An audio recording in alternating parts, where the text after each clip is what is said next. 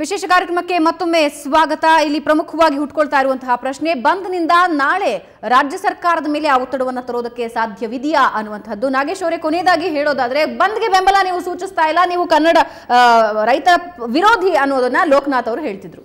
ಯಾವುದೇ ಕಾರಣಕ್ಕೂ ನಾವು ರೈತ ವಿರೋಧಿಲ್ಲ ಮೇಡಮ್. ಯಾಕೆ ನಾನು ರೈತನ ಮಗ. ದಯವಿಟ್ಟು ಆ ಭಾವನೆಯನ್ನು ಅವ್ರು ತಿಳ್ಕೊಬಾರ್ದು. ಯಾಕೆಂದರೆ ನಾವು ಮಾದಾಯಿಗೆ ಯಾವಾಗಲೂ ಕೂಡ ನಮ್ಮ ಬೆಂಬಲ ಇದೆ. ಅವರು ವಿಧ ವಿಧವಾದ ಹೋರಾಟ ಮಾಡೋದು ನಾವು ಅವ್ರಿಗೆ ಸಪೋರ್ಟ್ ಮಾಡ್ತೀವಿ. ಬಂದಿಗೆ ಮಾತ್ರ ನಮ್ಮ ಬೆಂಬಲ ಇಲ್ಲ. ಯಾವತ್ತೂ ಕೂಡ ಮಹದಾಯಿಗೆ ನಮ್ಮ ಒಕ್ಕೂಟ ಪೂರ್ತಿ ಅವರಿಗೆ ಬೆಂಬಲ ಇರುತ್ತೆ. ಅವ್ರು ಬೇರೆ ಯಾವ ಹೋರಾಟ ಕರೆದ್ರು ನಾವು ಹೋಗ್ತೀವಿ ಮೇಡಮ್. ಗೋವಾದಿಂದ ಬರ್ತಕ್ಕಂಥ ಯಾವುದೇ ಒಂದು ಸರ್ಕುಗಳು ಕರ್ನಾಟಕಕ್ಕೆ ಬರೋದನ್ನ ತಡೆಯಂತ ಕೆಲಸ ನಾವು ಮಾಡ್ತೀವಿ ಮುಂದಿನ ದಿನಗಳಲ್ಲಿ.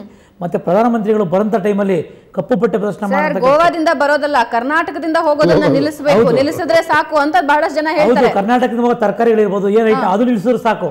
ಅದು ಒಂದು ಒಳ್ಳೆ ಇಂಪ್ಯಾಕ್ಟ್ ಆಗ್ತದೆ. ಅದು ಒಂದು ಅದ್ಭುತವಾದ ಹೋರಾಟ ಆಗ್ತದೆ. ಆಮೇಲೆ ಪ್ರಧಾನಮಂತ್ರಿಗಳು ನಾಲ್ಕನೇ ತಾರೀಕು ಬಂದ ಸಮಯದಲ್ಲಿ ಕಪ್ಪು ಪಟ್ಟೆ ಪ್ರದರ್ಶನ ಮಾಡಿ ಮಾನವ ಸರಪಣಿ ನಿಲ್ಲಿಸಬೇಕು ಅಂತ ನಾವು ಅನ್ಕೊಂಡಿದ್ದೀವಿ. ಅದು ನಾವು ಮಾಡ್ತೀವಿ. ದಯವಿಟ್ಟು ಬೇರೆ ಬೇರೆ ಥರದ ಹೋರಾಟ ನಾವು ಮಾಡ್ತೀವಿ.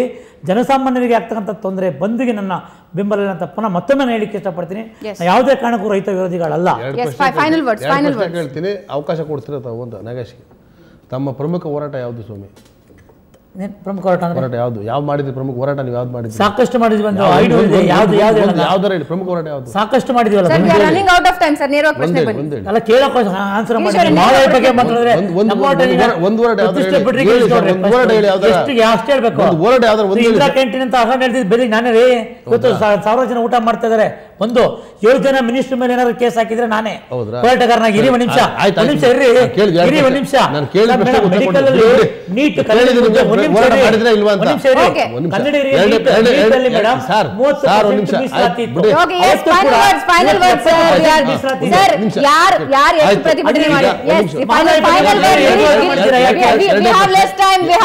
ಗಿರೀಶ್ ಅವರೇ ಕೊನೆ ಕೊನೆ ಕೊನೆ.